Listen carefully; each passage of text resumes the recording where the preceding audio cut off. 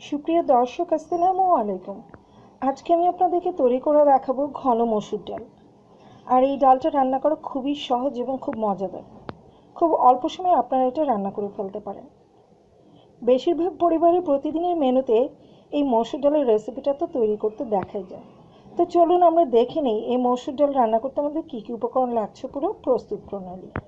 ঘন মসুর ডাল রান্না করার জন্য আমি কড়াইয়ে টু টেবিল স্পুন অয়েল দিয়ে দিয়েছি, এবার আমি এতে দিয়ে দিচ্ছি একটা মিডিয়াম সাইজের পেঁয়াজ কুচি।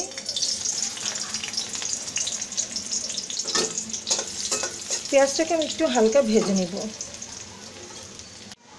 পেঁয়াজের রঙটা হালকা চেঞ্জ হয়ে এসেছে, এবার আমি এতে দিয়ে দিচ্ছি হাফ চা চামচ আদা বাটা, হাফ চা চামচ রসুন বাটা। আদা রসুনটা দিয়ে আমি একটু ভেজে নিব যাতে করে কাঁচা গন্ধটা না থাকে।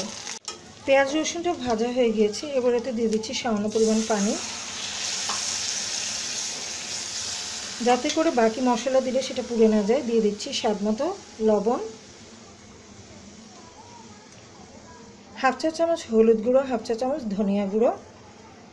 আমি এই ডাল রান্নাতে কোনো শুকনো মরিচের গুঁড়ো ব্যবহার করব না, কারণ আমি এতে কাঁচা মরিচ ব্যবহার করব, তাই এই মশলাটাকে আমি একটু ভেজে নেব।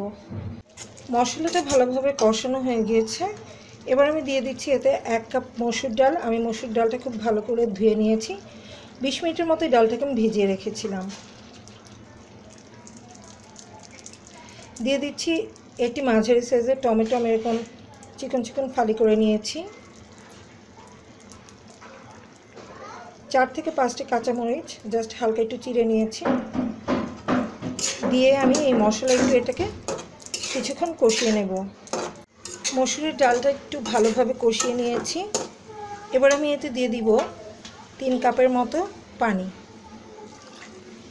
যেহেতু আজকে আমি ঘন মসুর ডাল রান্না করছি, তাই পানির পরিমাণটা একটু বুঝে দিতে হবে।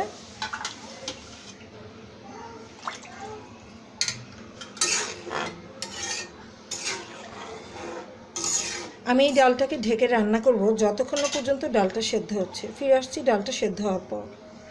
মসুরের ডালটা প্রায় হয়ে গিয়েছে এবং এটা বেশ ঘন হয়েছে। আমার ডালটা সেদ্ধ হতে প্রায় বিশ মিনিটের মতো লেগেছে। এটা পুরোপুরি গলানো যাবে না, এরকম হবে। এই পর্যায়ে আমি ডালটাকে নামিয়ে নেব এবং বাগারটা রেডি করে নেব। বাগার দেওয়ার জন্য আমি ফ্রাই প্যানে থ্রি টেবিল স্পুনের মতো তেল দিয়েছি। এবার এতে দিয়ে দিচ্ছি হাফ চা চামচের মতো আস্ত জিরা। দিয়ে দিচ্ছি তিনটে শুকনো মরিচ। দুটুকরো তেজপাতা।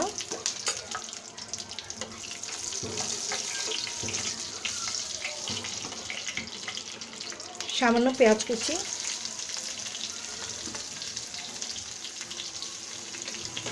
এক টেবিল চামচের মতো রসুন কুচি। দিয়ে আমি একটু ভালো করে এটা ভেজে নেব। অনেকটা বেরেস্তার মতো করে।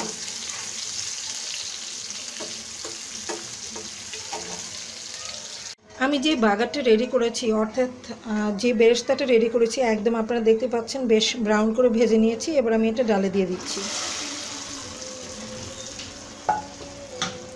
দিয়ে দিচ্ছি সামান্য ধনিয়া পাতা কুচি।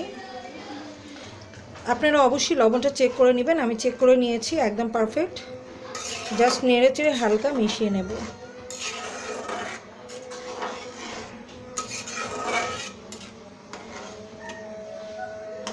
এবার আমি এটাকে নামিয়ে পরিবেশন করব।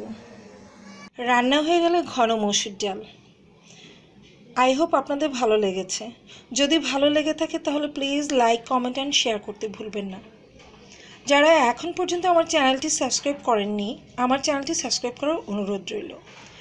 পাশে দেখানো বেল আইকনটিতে এটি ক্লিক করে রাখুন। এতে করে যে কোনো নতুন ভিডিও আপলোড দেওয়ার সাথে সাথে আপনারা তার নোটিফিকেশন পেয়ে যাবেন সবার আগে।